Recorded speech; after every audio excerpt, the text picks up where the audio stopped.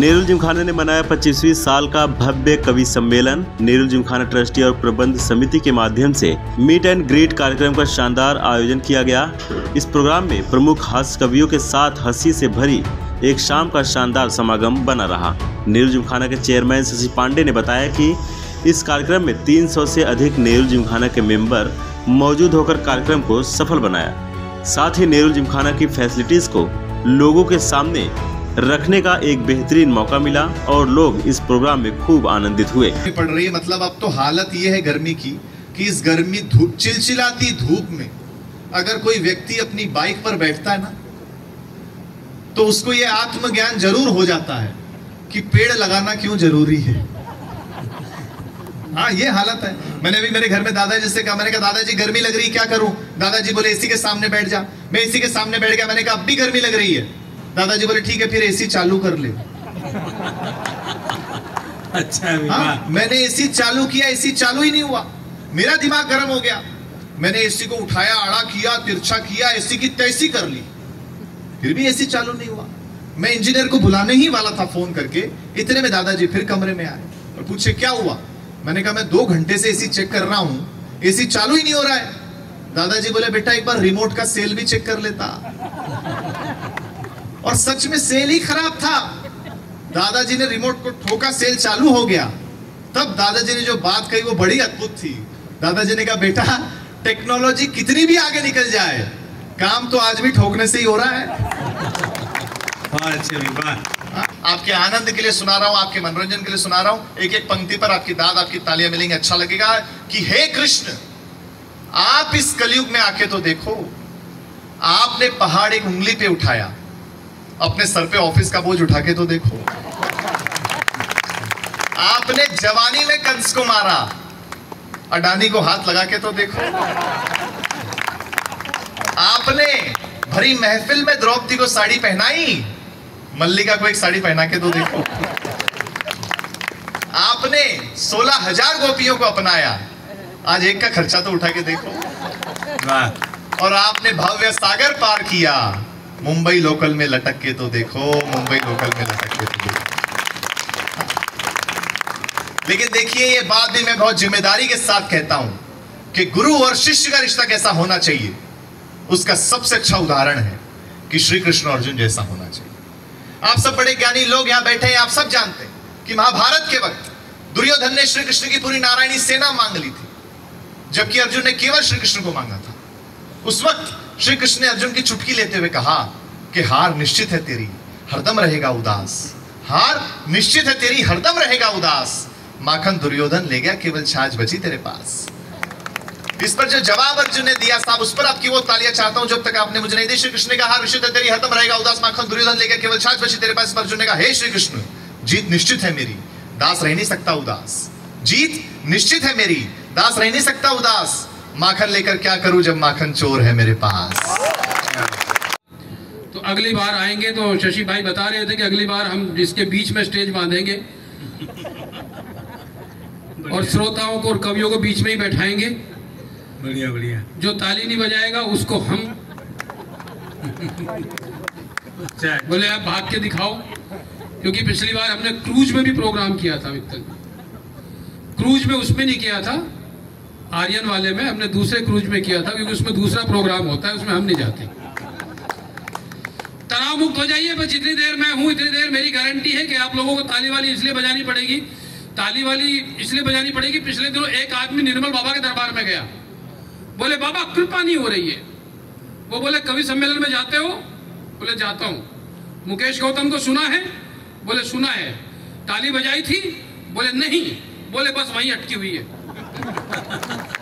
अच्छा अच्छा अभी। तो अगर आपको चाहते हैं कि आपके ऊपर कृपा वर्पा बरसती रहे तो आप ताली वाली ठोकते रहे। ऐसे एक और आदमी निर्मल बाबा के दरबार में गया। बोले बाबा कृपा नहीं हो रही है। बोले कभी बीबी के बनाए हुए खाने की तारीफ़ की है?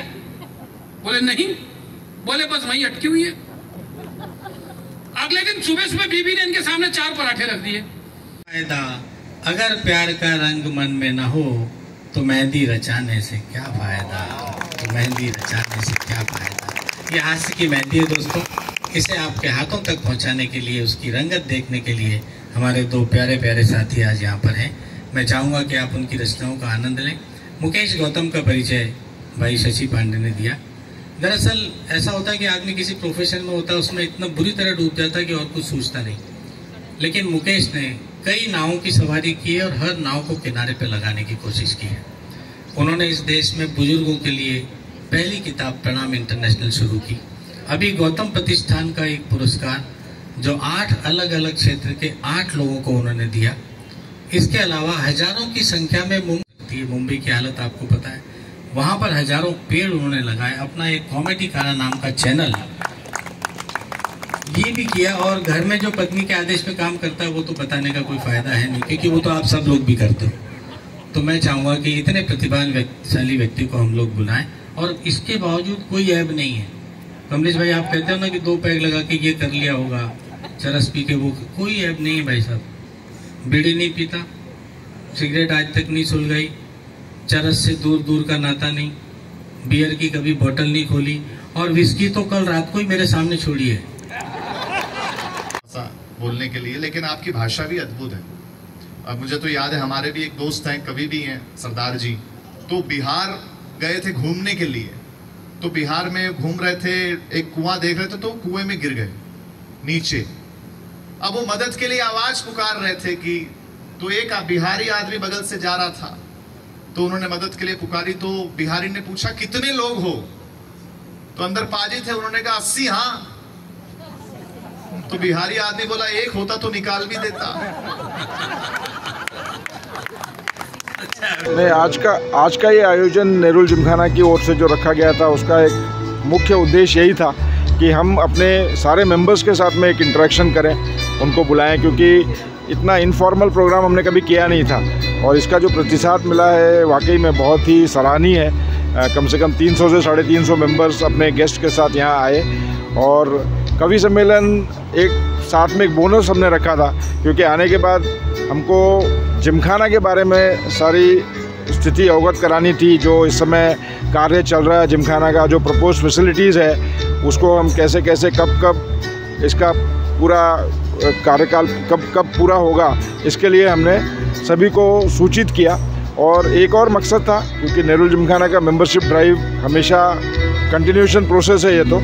और इस वक्त जो नेहरू जिमखाना मेंबरशिप का सब्सक्रिप्शन है, वो two lakh sixty five thousand plus GST उसको मिला करके तीन लाख तेरह हज़ार करीब हो जाता है। और आने वाले फ़र्स्ट मई से ये सब्सक्रिप्शन बढ़ करके पाँच लाख होने जा रहा है। तो एक मुद्दा यही था कि सारे मेंबर्स जो यहाँ पर आए अपने अपने दोस्तों के साथ, मित्रों के साथ, उन सभी को भी जिमखाना के बारे में ज्ञात हो और वो भी मेंबरशिप लेकर के परिवार का हिस्सा बने।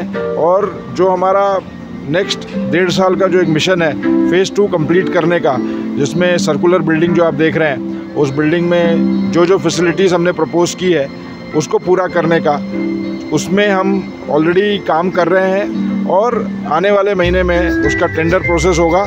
और अगले पंद्रह महीने में, पंद्रह से अठारह महीने में ये बिल्डिंग का इंटीरियर भी पूरा हो जाएगा।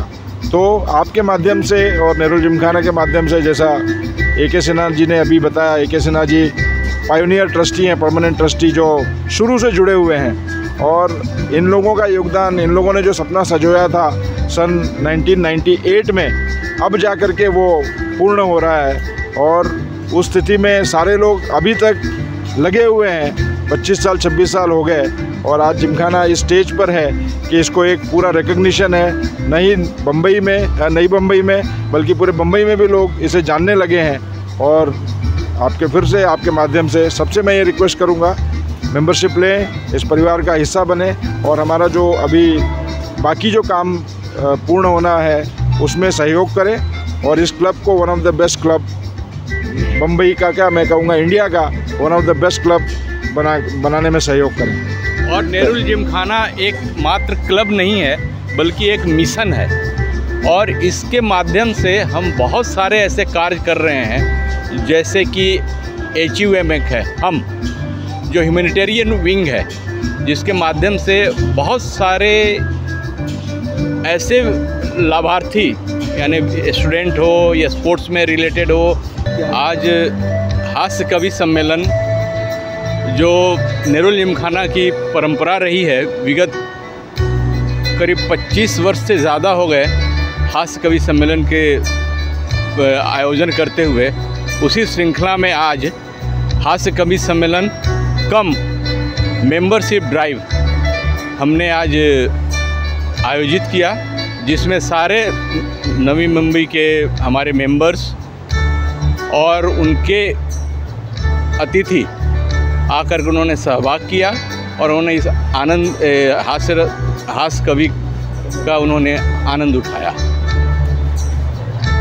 मैं नेहरू जिमखाना के सभी मेंबर्स का बहुत बहुत शुक्रगुजार हूँ कि उन्होंने हमारा साथ दिया और हम आज यहाँ खड़े हुए हैं। इस मुकाम पर अभी प्रोग्रेस के रूप में बहुत ज़्यादा हम प्रोग्रेस कर पाए हैं। अभी कुछ दिनों पहले ही हमने नेहरू जिमखाना में ओलंपिक साइज़ स्विमिंग पूल का उद्घाटन किया है। वसीम काजी के साथ पंकज बिनोसी की रिपोर्ट, आवाज़ टुडे, नवी मुंबई।